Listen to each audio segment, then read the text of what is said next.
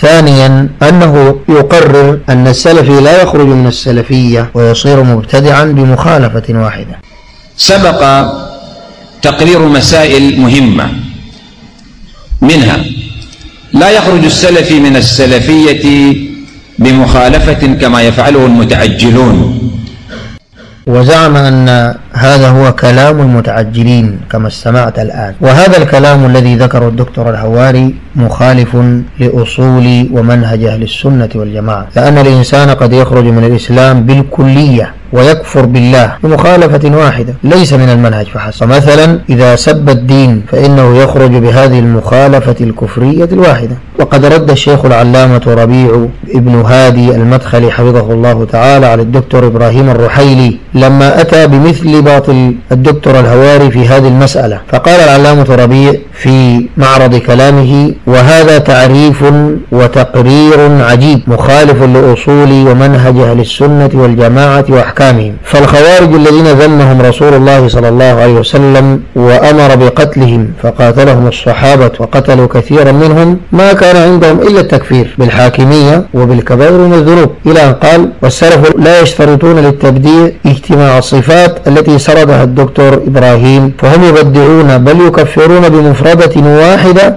من مفردات العقائد. إلى أن قال حفظه الله ولما قال المعتزلة في مرتكبي الكبائر بأنهم في منزلة بين المنزلتين لا كفار ولا مؤمنون بداهم العلماء وسموهم بالمعتزلة. ولما قال من قال من أهل السنة القرآن كلام الله لكن لفظي به مخلوق بدعهم أهل السنة. ولما ضل المرجئة في تعريف الإيمان فقالوا إن العمل ليس من الإيمان. وإنه لا يزيد ولا ينقص بدعهم أهل السنة. ولما قال بعضهم في تعريف الإيمان الإيمان المعرفة بالقلب كفروهم ووصفوهم بأنهم غلاة الجهمية. أقول هكذا يقول العلامة ربيع حفظه الله لقد بدع السلف عددا من العلماء كانوا من كبار أهل السنة بسبب قولهم لفظي بالقرآن مخلوق مع موافقتهم لأهل السنة بأن القرآن كلام الله ومخالفتهم لأهل البدع بأن القرآن مخلوق. انتهى كلامه حفظه الله. فالإنسان قد يخرج من السلفية مخالفة واحدة إذا كانت تستحق كما هو منهج السلف الصالح لا كما قال الدكتور الهواري. ثم لاحظ أن الهواري لم يفصل وأجمل. فلو قال مثلا هناك بعض المسائل لا يبدع صاحبها لقلنا صدق لكن يقول لا يخرج السلف بمخالفة كما يفعله المتعجلون. هذا من أبطل الباطل. والخطير أيضا أنه بين أن هذا هو فعل المتعجلين. وقد علمت أخي المستمع الكريم أن هذا فعل السلف وقول السلف قاطبة فهل هم متعجلون؟ وقد مر معنا في هذا التسجيل أن الدكتور الهواري بصوته يقول الإطلاقات دليل على جهل الإنسان. فإذا افترضنا أن الدكتور الهواري لم يقصد لكنه أطلق كما سمعت وكما رأيت فهل يحكم على نفسه الدكتور بالجهل. ثالثا يقول الدكتور الهواري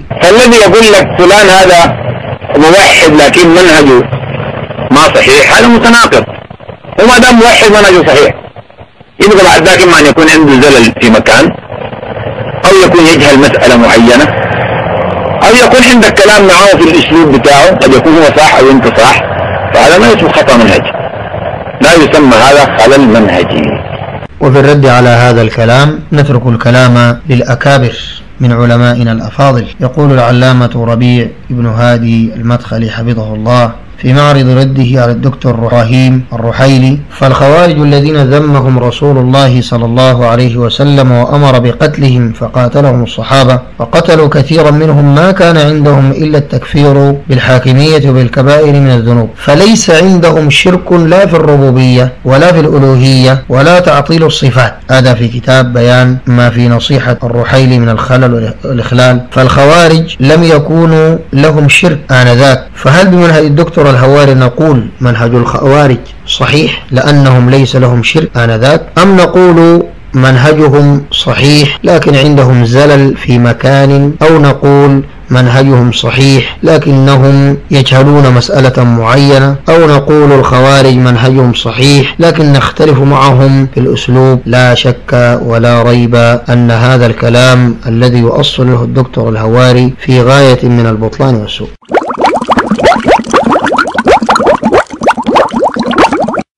أحسن الله إليكم.